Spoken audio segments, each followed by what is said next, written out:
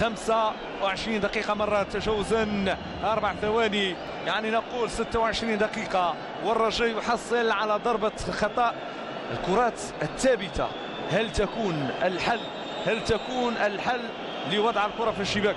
كرة رجوية ملعوبة داخل منطقة الجزاء تغطية محاولة من جديد رجوية فرصة داخل منطقة الجزاء بدر بنون إمكانية التصويب تغيب التصويب هجمة مرتدة مضادة والحكم يتدخل يقول هنالك دفع هنالك دفع من حميد حداد كما قلنا هو اللاعب الذي يشغل رأس حربة لدفاع الحسن الجديد لاعب سريع لاعب سريع.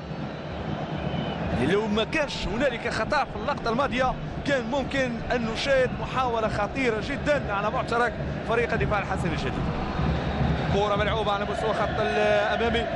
تمرير من جانب زكريا حدرف بإمكانه يمر مع في آخر المطاف لقاء ماشي سهل. لقاء ماشي سهل لقاء بذكريات لقاء بحسيس لقاء بتتويج ولقاء بدموع في آخر المواجهة وفرحة وهكذا هي كرة القدم.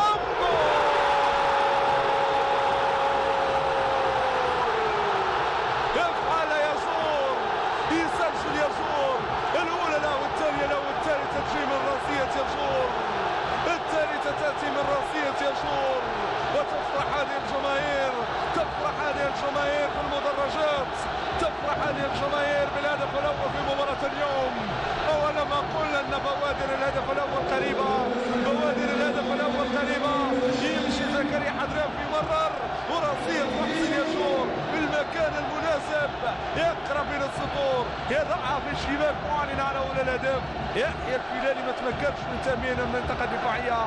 كرة جانبية الاستسلام والاستخلاص المميز من جانب زكريا حدراف هو بالراس. يفرح من خلال جاريدو يفرح من خلال يشور تفرح من خلال الجماهير في المدرجات. واحد الصفر. شوف ردة الفعل هذا المدرب الإسباني الذي يبدو سعيدا والأسعد لما لا في مباراة اليوم. نعم. واحد الصفر للرجاء. واحد الصفر للرجاء ومحسن يشور في المرة الثالثة يضع نفسه ويسجل هدف هو الأول في مباراة اليوم. دفاع الحسن الجديد الآن هل يعود في المباراة؟ هل يعود في اللقاء؟ هل بإمكانه أن يعود في اللقاء؟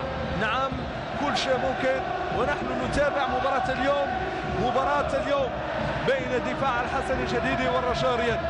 لحظة من اللحظات الجميلة وفي أقل من 28 دقيقة. يأتيك الهدف الأول ويسجل محسن يشور رغم أن الدفاع الحسني الجديدي كان أقرب أكثر من أي وقت مضى من الوصول نحو المرمى. كرة من كروشي كروشي الحافيظي. الحافيظي يرفع كورته في اتجاه زكريا حدراف يمشي كورته زكريا يحاول يستخلص الكرة الماضية.